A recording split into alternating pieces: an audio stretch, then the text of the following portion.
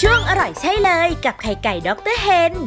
วันนี้เรามีเมนู ลาบซ่อนไข่แสนอร่อยมาฝากกันค่ะ เริ่มด้วยผสมเนื้อหมูสับละเอียดกับมันหมูบดเข้าด้วยกัน แล้วปรุงรสด้วยผงปรุงรสลาบ และน้ำมะนาว เคล้าให้เข้ากันค่ะ ใส่หอมแดงสับ ผักชีฝรั่งซอย ต้นหอมซอย และแป้งข้าวโพด เคล้าส่วนผสมให้เข้ากัน ต่อด้วยวิธีต้มไข่ เริ่มจากเลือกใช้ไข่ไก่สูตรธรรมชาติตราด็อกเตอร์เฮน ไข่ฟองนี้ไม่ธรรมดา ต้มน้ำให้เดือดด้วยไฟปานกลาง ระดับน้ำต้องท่วมไข่ เพื่อให้ไข่ไก่สุกเท่ากันทั้งฟองค่ะ ต่อมานำลาบหมูมาห่อ ไข่ต้มอย่างมาตุ่มให้มิด ปั้นเป็นทรงกลม และคลุกแป้งแห้งนำลงทอดในน้ำมันพืชที่อุ่นจนร้อน ทอดด้วยไฟอ่อนจนสุกแล้วตักออกสะเด็ดน้ำมัน